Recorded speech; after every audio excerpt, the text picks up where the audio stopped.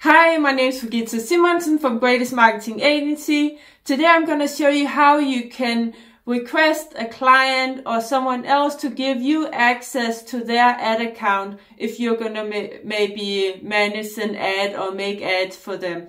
So I'll jump into my own uh, business manager. So see you there.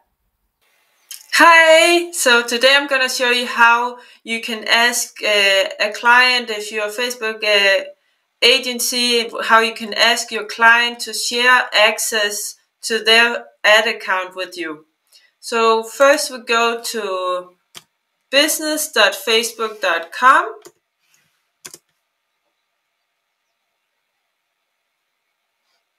So now we are here in my business account.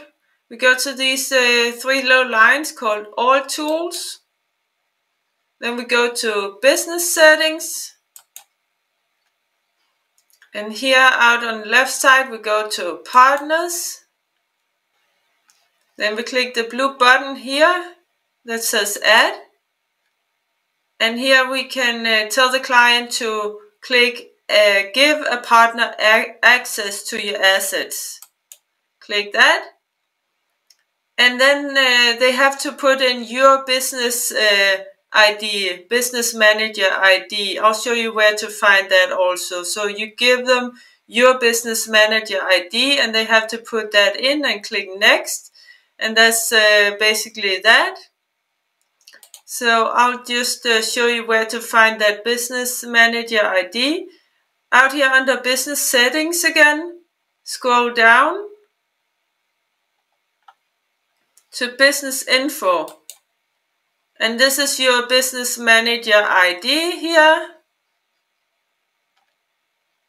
And uh, you can also send a request to your client. And if you do that, then the client has to also go here under business settings, scroll down to requests.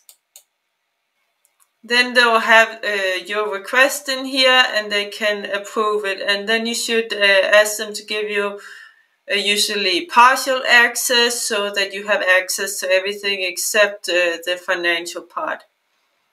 So I hope this was helpful. Uh, give me a like if you like it, subscribe for more, comment below, and uh, have a great day. Take care. Bye.